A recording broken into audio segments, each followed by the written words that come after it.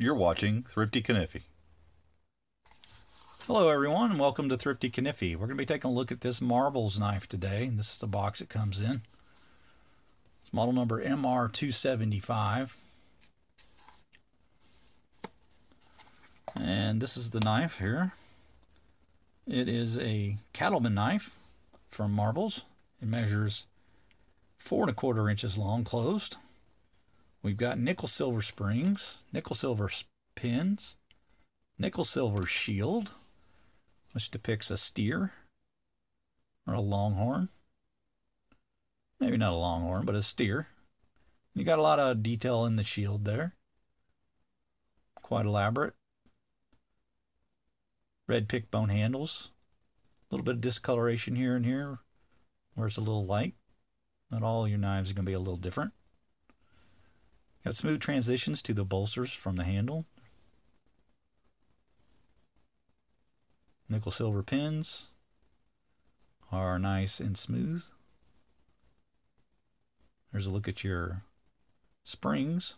You notice that one is a little larger than the other.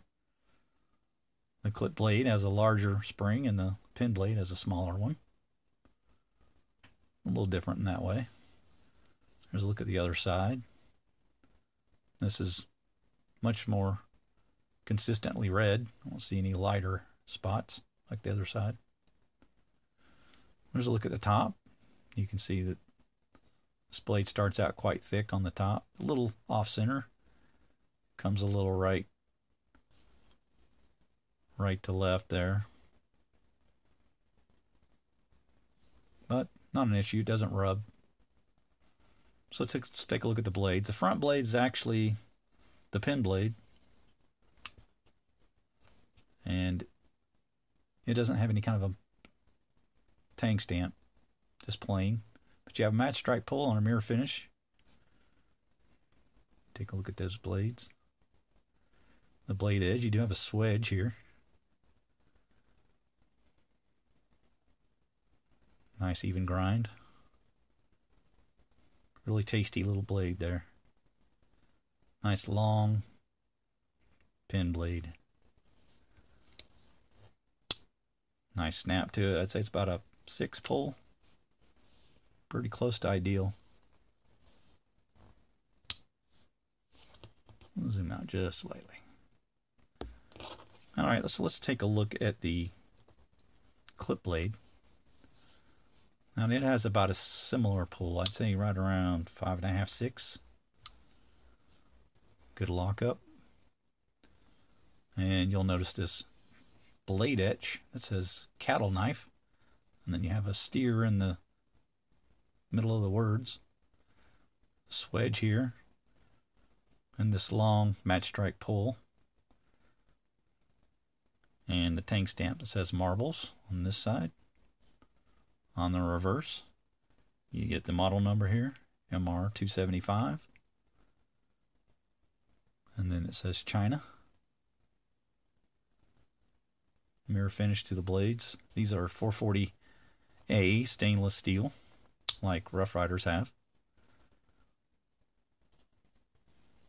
Do have a little bit of gapping on the bottom. It's not 100% perfect but it's not bad. The gaps are very narrow where they do exist. So pretty well constructed. And this is a pretty hefty knife too. We'll take a look at the weight really quick. First let's look at that again and at the blade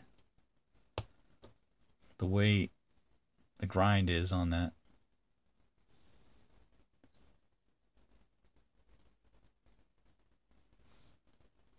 So here's your scale, we're going to take a quick look at the weight. Got 128 grams and 4.5 ounces straight up. So pretty hefty little knife here. And you'll notice that spring, like I say, is thicker on one end and the other, accommodating that. So it doesn't need to be any wider than that. There's no sense putting a same width spring on the smaller pen blade. It didn't need it. So was, to me, that's a smart design. Keeps the weight down, the narrow it narrows it a little bit. and really just a smart way of handling the design, in my opinion.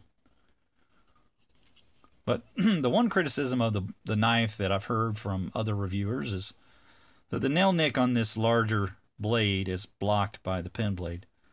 And that is true, but there is one thing about this knife that uh, I don't think maybe people give enough due, and that that blade can be sent down into the body of the knife without a problem. Um, it doesn't create any blade wrap when you do that. The knife is still has plenty of clearance. Um, and when I go to open the knife, just having used it enough now, I immediately look for the angle direction change there, right where the swedge starts, and put my finger just above it and catch that in there. And I don't have any issue at all pulling that out every single time. So essentially, I'm pushing down and then finding the groove and pulling up. Now, that might be a little weird, and I get that you really want full access to that nail nick, but it's such a minor issue in, in, in the practical sense that I don't even worry about it because once you just learn that that's what you got to do, it's it's really not an issue. You can see I'm doing this and I'm not even looking. I'm just feeling for it. I can do it every single time. So if you want to complain about that, I, I totally get it. Um, but from a practical sense, to me, it's it's a non-issue. And I think this knife is so attractive with the steer um, shield on it and the larger size. It gives you a nice lengthy clip blade. And you're looking at like a three and an eighth inch, three to a quarter inch blade length and a cutting edge of over two and three quarter inches. So, I mean, that's a healthy size knife, not even legal in the UK. You've got a blade length of two and a quarter inches on the little pen blade here, and then a cutting edge of two inches on it. So, altogether, a pretty large knife, maybe a little heavier than what you're used to carrying, a little larger in length. Like it says, four and a half ounces. So, um, not going to be for everybody, but I really like this even-ended design with the cigar shape. And I didn't have a lot of examples of anything like this. And the fact that it has this shield on it, that's that's the selling point for me. I really like the way that looks. It kind of says everything about the knife in the shield, right? Being a cattleman knife.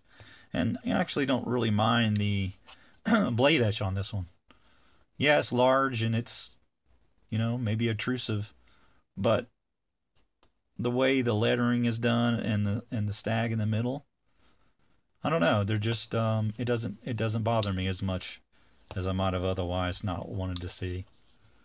Kind of tells you everything about the knife. So there you have it, guys. Marbles, MR 275. Sorry, three yeah 275. MR 275 cattleman knife. These are $12.99 on Smoky Mountain Knife Works and still available right now as I'm looking. They have stock, so if you're interested in this one, pretty inexpensive, mm, pretty large, pretty cool, nice clip blade, nice pen blade, nice shield, and um, the problem that many people have with it, I really don't find to be an issue.